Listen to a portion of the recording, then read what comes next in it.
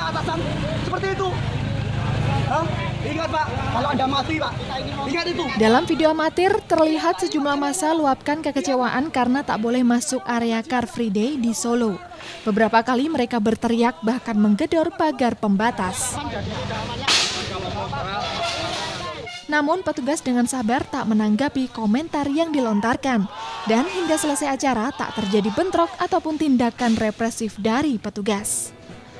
Kronologinya ya saya melaksanakan tugas dengan ikhlas sesuai dengan SOP-nya.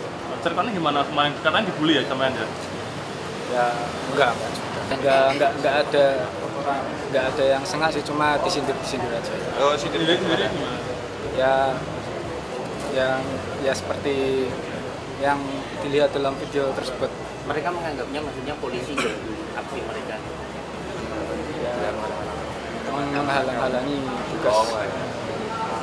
Mas kalau arahan dari pimpinan sendiri gimana sih Mas? APP-nya seperti itu apa? Ya selain prosedur tadi, arahan dari pimpinan melayani masyarakat dengan ikhlas dan sesuai dengan SOP. Atas kesabarannya, 18 anggota Satbrimo Polda Jateng diganjar piagam penghargaan oleh Kapolda Jawa Tengah Kamis pagi. Mereka diharapkan dapat menjadi contoh anggota Polri dalam mengedepankan tugasnya.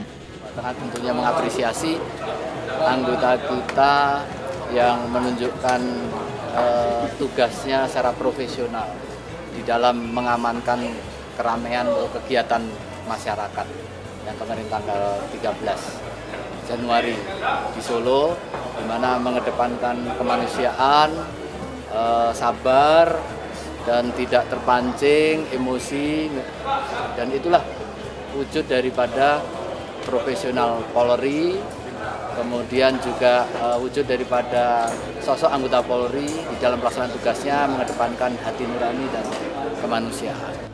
Selain anggota Brimob Polda Jateng, beberapa anggota Polrestabes Semarang dan Polres Surakarta juga mendapat penghargaan yang sama.